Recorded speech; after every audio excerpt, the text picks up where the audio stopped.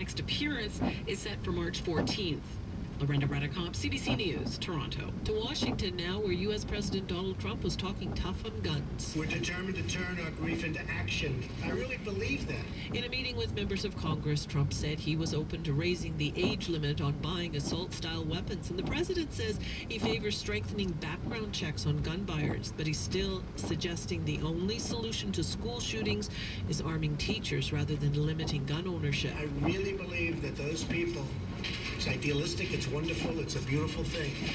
But if you think that somebody's going to be able to walk into a school if they feel that they're not going to have bullets coming at them from the other direction, uh, you're never going to solve the problem. I feel that. Trump has also promised to write an executive order outlawing so-called bump stocks that allow semi-automatic weapons to fire almost as quickly as automatic weapons. Another down day on the markets today. The TSX closed at 15,442. The Dow closed down as well today at 25,029. The Nasdaq closed at 72.73, and the Canadian dollar was down a bit as well. It finished at 77 cents US. That's the CBC News from Vancouver. For news anytime, go to cbc.ca/bc or use the CBC News app. And now a look at the south coast weather. Rain, wet flurries over higher terrain, a high of 6 degrees. Tonight, cloudy with a 40% chance of showers. Tomorrow, that'll continue for most of the day until we move to clouds in the evening.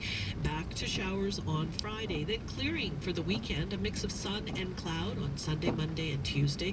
But cooler in the evenings down to zero. It's snowing in 1 in Whistler, mostly cloudy and 7 in Victoria. And in Vancouver right now, it's 5 degrees and raining lightly. Hi, I'm Nora Young. This is Spark from CBC Radio.